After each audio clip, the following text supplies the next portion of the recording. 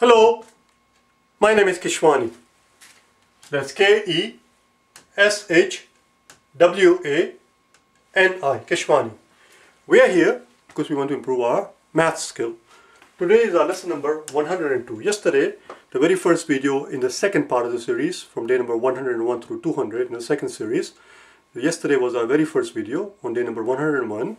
We discussed the notion of rational number versus irrational number. And what we learned yesterday is that a rational number, a rational number is something, is something that has either a ter terminating, how do you spell terminating?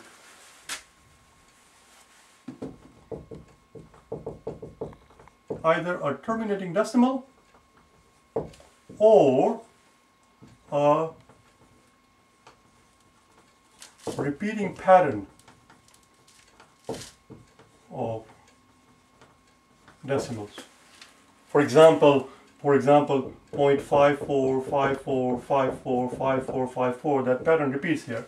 It never ends, 0.545454, it never ends, but it is it does have a pattern that pattern repeats 0.545454 is a repeating pattern and therefore that is a rational number. That is a rational number. Right now we're talking about rational number. A rational number a rational number is something that can be either written that is a rational number is something that has either a terminating decimal or if the decimal does not terminate if the decimal never ends if it goes on forever and ever and ever that's okay it will have, in that case, if it does not have a terminating decimal, then it will have a repeating pattern. As we can see here, 0.54545454, and that work turns out to be, I should know by heart, but I don't. I don't. I'm not. I'm not going to take a chance. That turns out to be 6 over 4, or 6 over 11. That turns out to be 6 over 11. Here's another example. Uh, 0.333333 never ends. It just goes on forever. But clearly, there's a pattern here. The pattern is that it's just 3. It just goes on forever. And of course we know that that is simply 1 over 3. And so on and so forth. Or it will have a terminating decimal. If it has a terminating decimal, it's a rational number. For example, 0.75, it, it ends. It's a rational number because it can be written as a fraction 3 4. So, if it either has a terminating decimal or a repeating pattern, then the result is that if it either, one more time, if it either has a terminating decimal like this one, 0.75, it ends there, or 0.125, it just ends, 0.125, that's the end of it, that's the end, that's the end of the story, 0.125, that's all she wrote, 0.125, it ends. And therefore it can be written as a fraction, it's just 1 over 8. So if it has a terminating decimal or a repeating pattern of decimal, then it can be written as a fraction. It can be written as a fraction. A rational number is something that can be written as a fraction. A rational number is something, a rational number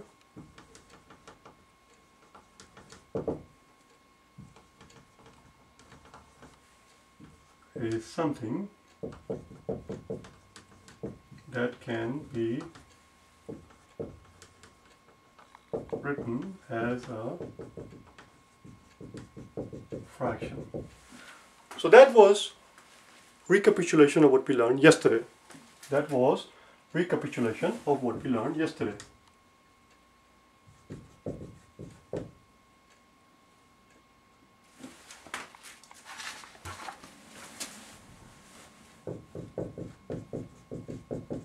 Recapitulate. We learned this word in our vocabulary lesson yesterday. I'm going to quickly, not yesterday, we learned this word uh, in our vocabulary lesson, so uh, in the past. I'm going to quickly give uh, look up and tell you which day we learned it, recapitulate. So that was a recapitulation of what we talked about yesterday. Just give me one second and I'll find it.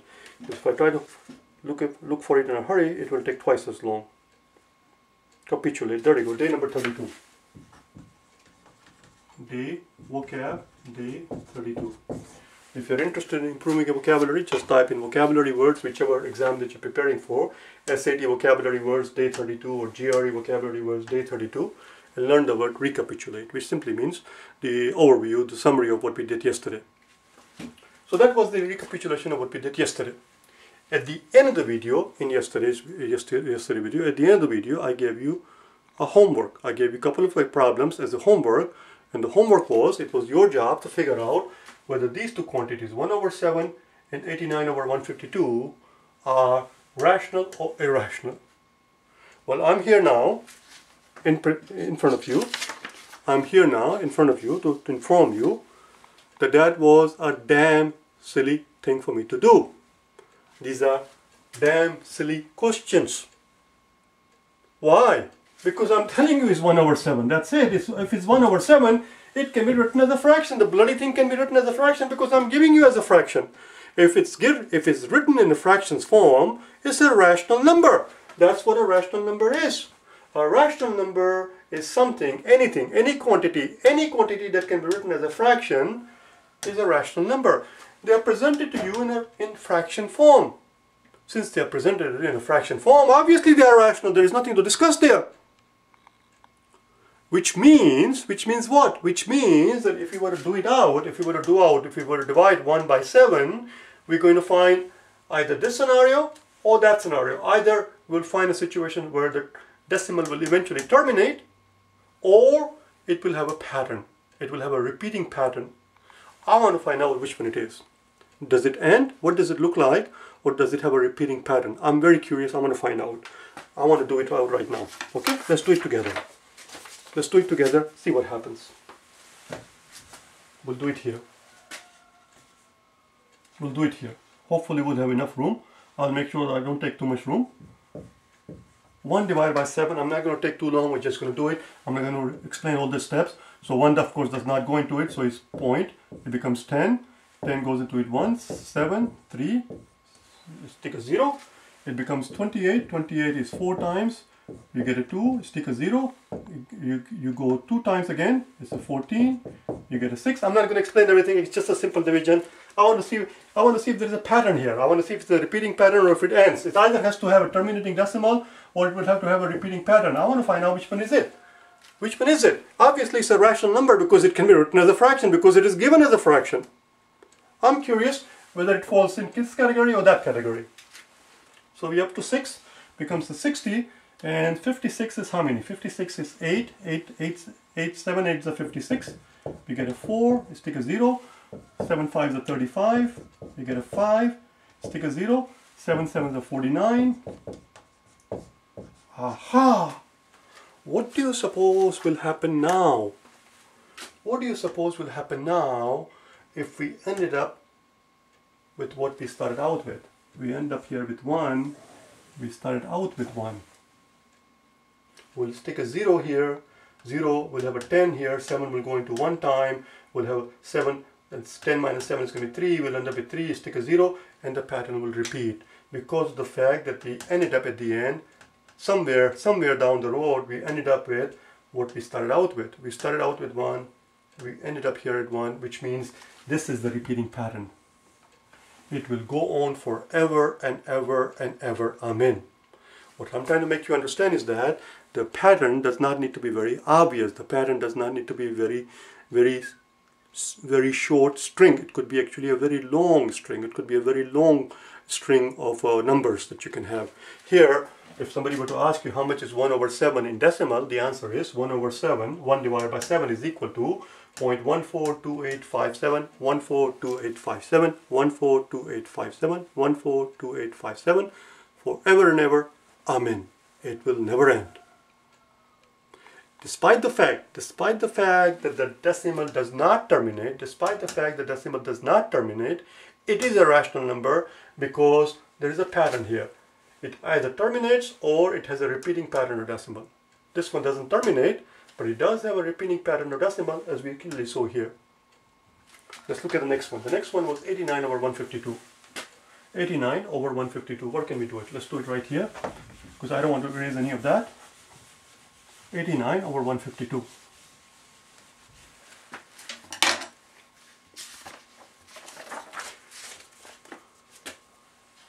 Eighty-nine over one fifty-two.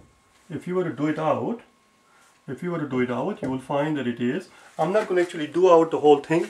I'm not going to actually do out the whole thing only because I don't want to give it away that some of us don't have a life. Do you understand?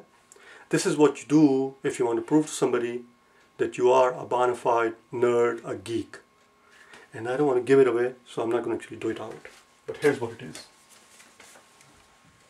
5855 2631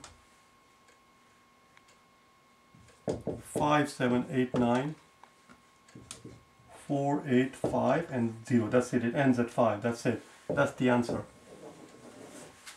That's the answer. Now, do you know why I made such a big fuss about this particular quantity? I'll, I'll share with you why. Because it ticked me off when I saw it. It really ticked me off. As I was preparing my lecture notes for this particular video, I was browsing through the YouTube and see what, what other people had to say on the subject. And actually, I, and I actually found one video where the gentleman was proudly telling his students that 89 over 152 is in fact an irrational number. That was a damn silly, stupid, idiotic thing to say. You don't have to do all of this out to realize that it actually ends or it has a repeating pattern. You don't have to do any of this thing. How can the bloody thing be a rational number when you are giving it to me in the form of a fraction? If it can, if a quantity can be written as a fraction, one number divided by another number, that is the definition of a rational number. That's what makes it rational. What makes a quantity a rational number is the fact that it can be presented as one quantity divided by some other quantity.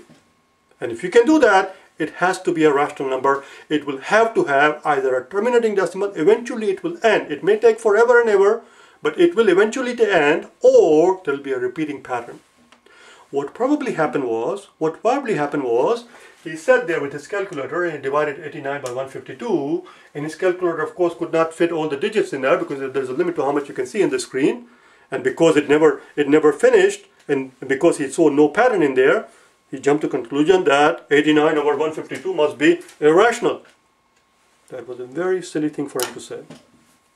I hope and pray to God for the kids of those, that particular school I'll see you tomorrow, okay?